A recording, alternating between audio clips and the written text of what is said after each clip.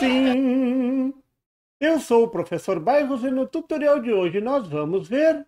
Todo mundo sabe que tem que colocar um diodo em paralelo com a bobina do relé. Mas será que pode colocar um snubber também? É sobre isso que eu vou falar nesse tutorial. Vamos lá?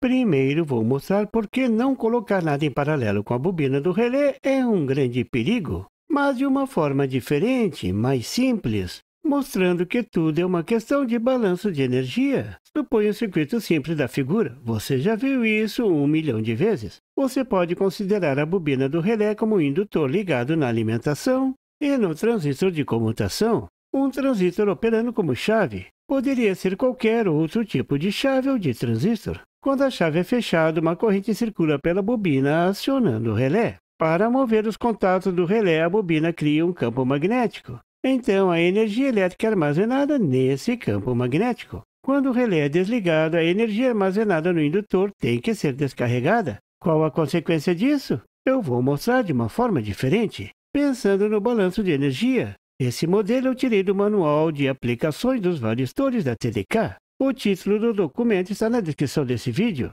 Eu usei esse documento para mostrar como calcular o varistor. Sim, eu tenho um tutorial sobre o varistor está na descrição desse vídeo. Uma forma bem simples de ver esse fenômeno é pensar que a energia armazenada no indutor vai ser descarregada no capacitor existente no circuito. Mas nesse circuito não tem capacitor? Sim, quero dizer não. Não tem capacitor real, mas tem um capacitor parasita formado pela fiação e pela capacitância interna da própria bobina do relé, que é feita de fios em paralelo. Então a energia da bobina vai descarregar nesse capacitor parasita. Veja o exemplo do manual da TDK. Nesse exemplo, o valor da corrente é de 1 A e circula no indutor com indutância de 0,1 H. E a capacitância total das capacitâncias parasitas é de 250 pF, valor típico. O capacitor parasita foi desenhado em paralelo com a bobina. Assim, ele está ali mesmo quando a chave é desligada. A questão é como calcular a tensão sobre o indutor? É tudo uma questão de balanço de energia. Quando o indutor está ligado, ele armazena energia conforme a equação da figura. Quando o circuito é desligado, essa energia passa para o capacitor parasita. A equação da energia acumulada no capacitor é dada pela equação da figura. Essa equação é um dual da equação do indutor. Interessante isso. Para saber o valor da tensão que vai aparecer no capacitor, que está em paralelo com a bobina, basta igualar as duas equações e isolar a tensão. Veja a equação da tensão. Essa vai ser a tensão que vai aparecer nos terminais da bobina quando ela desligar. Substituindo os valores e calculando, veja que fantástico! A tensão será de 20 mil volts. Essa tensão é chamada de força contra eletromotriz ou tensão reversa em português. Vai ter cheiro de ampere queimado? Com certeza. Como fazer para diminuir essa tensão? Para diminuir a tensão reversa, é só olhar a equação. Basta aumentar o valor da capacitância colocando um capacitor real em paralelo com a bobina. Qual o valor? É só isolar a capacitância C na equação. Veja como fica. Note que o valor desse capacitor depende da tensão máxima. Então você está no comando. Basta você dizer qual a máxima tensão que você quer e pronto. É só calcular o valor da capacitância. No exemplo da TDK, eles especificaram uma tensão de 65 volts como a máxima tensão que esse circuito suportaria, sem sentir cheiro de ampere queimado, é claro. Substituindo na equação, olha lá o valor, 23,6 microfarads. Tem que associar em paralelo e colocar em paralelo com a bobina. O melhor é não usar capacitor polarizado. Cuidado com a tensão de trabalho, tem que ser bem maior do que a tensão reversa. Eu coloco no mínimo o dobro.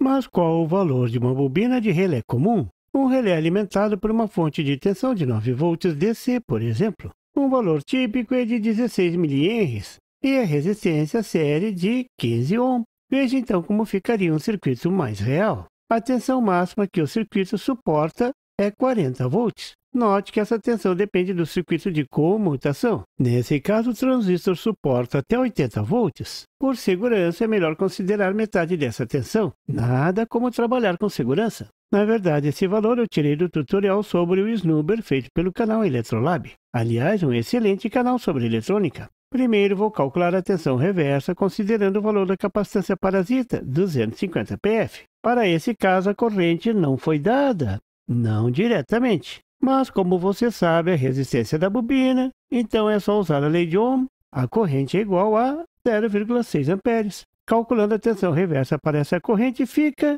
isso mesmo, 4.800 volts. Um relé tão pequeno gerando uma tensão tão alta. Viu por que não pode deixar a bobina do relé sem proteção? Calma, é só colocar o capacitor em paralelo. Veja o valor. Um capacitor de 3,6 microfarads e pronto, tudo ficou sob controle. Você deve estar pulando do outro lado da telinha, gritando, mas todo snowbird tem uma resistência. Sim, é verdade. Se colocar só o capacitor, quando o indutor descarregar, poderá oscilar, e isso pode ser um grande problema. Então, entra a resistência, ela vai amortecer as oscilações. O valor pode ser determinado simplesmente pela lei de Ohm. Você sabe a máxima tensão sobre a resistência, nesse exemplo é 40 volts, e também sabe a corrente, é a corrente máxima na bobina, 0,6 amperes. Calculando a resistência, deve ser de 66,7 ohm, 68 ohm comercial. Pronto! Agora você tem um snubber de verdade, e o melhor, você está no comando, você sabe calculá-lo. Você viu nesse tutorial que sim, um snubber pode ser colocado em paralelo com a bobina do relé. Você viu como calcular a tensão reversa, o capacitor e a resistência do snubber para a corrente contínua. Olha o resumo na figura. Claro que tem outras formas de controlar a tensão reversa, mas isso fica para outro tutorial. E por favor, se você não é inscrito, se inscreva e marque o sininho para receber as notificações do canal. E não esqueça de deixar aquele like e compartilhar para dar uma força ao canal do Professor Bairros. E não tem site? Tem sim! É www.bairrospd.com. Lá você encontra o PDF e tutoriais sobre esse e outros assuntos da eletrônica. E fique atento ao canal do Professor Bairros para mais tutoriais sobre eletrônica. Até lá!